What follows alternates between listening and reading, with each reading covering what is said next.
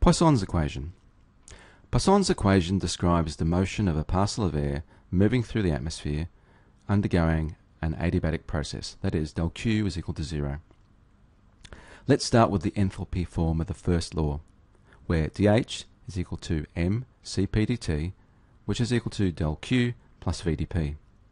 Because it's a an adiabatic process, del Q is equal to zero, so m Cp dt is equal to V dP.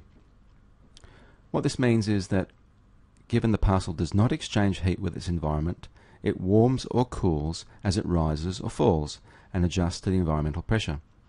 So, for example, a parcel of air that ascends or rises in the atmosphere will encounter lower and lower environmental pressures and will itself expand until its pressure adjusts to the environmental pressure. As it does so, the temperature decreases, the parcel cools. As we move through this derivation, feel free to stop the video at any point. We can write the ideal gas equation in terms of the volume, written there as mRT on P, and substitute that into the enthalpy form of the first law, written as mCp dt is equal to mRT on P dP. The masses cancel on either side of the equation, and we divide through both sides by Cpt to obtain dt on t is equal to r on cp dp on p. We can then integrate both sides of the equation, introducing the dummy variables of integration, indicated by the dashes throughout. And we integrate between a reference level, P 0 where the temperature is T 0 and some arbitrary pressure P, where the temperature is T. Both sides produce a natural logarithm, and so we obtain log of T on T 0 is equal to r on Cp log of P on P naught. On the right hand side that can also be written as log of P on P naught to the r on Cp. And then if you take the natural exponent of both sides and you take T naught over on the right hand side of the equation, you obtain the equation shown. T equals T naught multiplied by P on P naught to the r on Cp. And so this describes how we can relate the temperature at two different pressure levels assuming that the parcel exchanged no heat with the environment.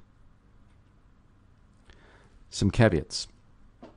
We use the enthalpy form of the first law, and it doesn't include contributions from phase changes, so there's no information about liquid or solid water forming. So the equation only holds for adiabatic motions of unsaturated air. We can assume that it's dry. We'll deal later with the idea of air that contains moisture but isn't saturated.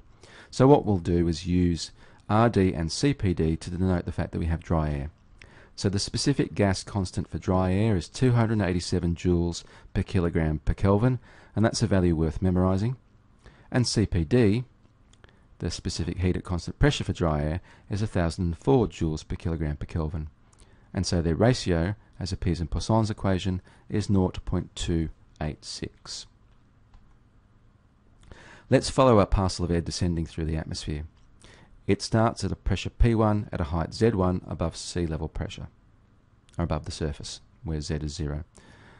The parcel of air has the pressure of its environment, P1, and the temperature of its environment, T1, so it's in equilibrium, pressure equilibrium and thermal equilibrium. Then we force the parcel to ascend dry adiabatically, so there are no phase changes and no exchange of heat of the, between the parcel and its environment, and so we end up with uh, a parcel of new pressure P2 and a new temperature T2. In this equation, remember temperature is in kelvins, and the pressure may be in pascals or hectopascals. Doesn't matter because it's a ratio there. So what happens here is as the parcel descends, it encounters a larger environmental pressure, and so it must contract. We get adiabatic compression of the parcel. So the environment's doing work on the parcel to raise its internal energy and increase its temperature. So, let's do a calculation. Consider a parcel at pressure 1, P1 of 500 hectopascals, and it's going to descend dry adiabatically to a pressure of 850 hectopascals. It starts with a temperature of minus 12 degrees Celsius. What will its final temperature be? Pause the video and do the calculation. So how did you go?